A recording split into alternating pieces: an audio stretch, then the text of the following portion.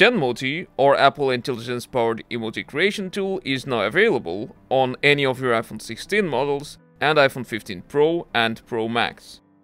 Using Genmoji, you can create any type of stickers and even turn people into emojis within a few seconds. Then you can use it across all your social media apps and text messages. So let me show you how you can create your own AI-powered emojis using Genmoji.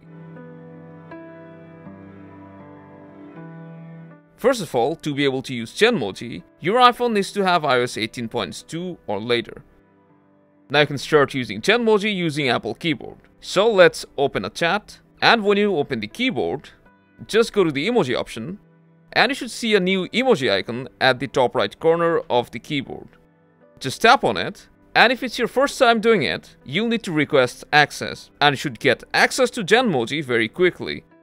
And after that, you should see the new Genmoji window, from where you can describe anything to turn it into an emoji. For example, I'll try to create a rat in a boxing ring. And as you can see, it only took a few seconds for Apple Intelligence to create the emoji. You can view all of them and if you swipe right, it will keep generating new emojis. In the same way, you can put any prompts and Apple Intelligence will create new Genmoji for you within seconds. You can even put a person's name, then the prompt,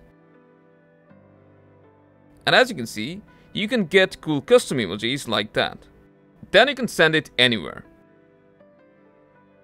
There's another feature on your iPhone using which you can create any AI-generated images with more than one prompt. If you want to know how to do that, then check out our dedicated video on that.